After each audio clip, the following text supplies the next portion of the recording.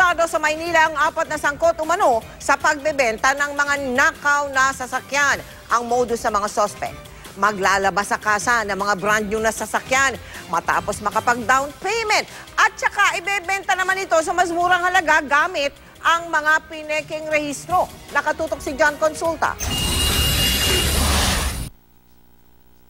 Pasado alas 10 ng umaga na makipagkita sa parking lot na ito sa Ross Boulevard ang mga ahente ng National Bureau of Investigation bilang poster buyers at isa sa target na suspect.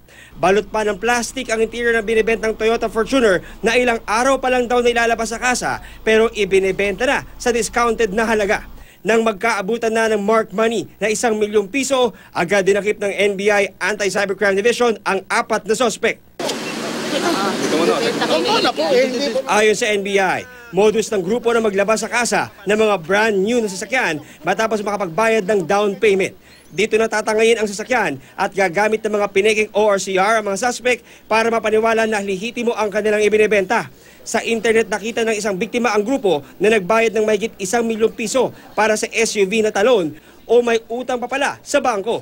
gagawa sila ng fraudulent na certificate of registration na wala na yung encumbered, mabibenta po nila to ng mahal. Ibig sabihin, fully paid na yung unit. Kanina naawa sana ako sa kanila, pero mas naawa ako sa sarili ko. At saka yung halaga na yon ay hindi ganon kadali yung kinita. Babayaran pa namin yon. Ang isa sa mga suspect, umaming nakapagbenta na siya ng labing dalawang sasakyan. Paliwanag nila, Ako po, eh, kumbaga sa ano, nabiktima din. Okay. Bumili lang din po ako ng sasakyan.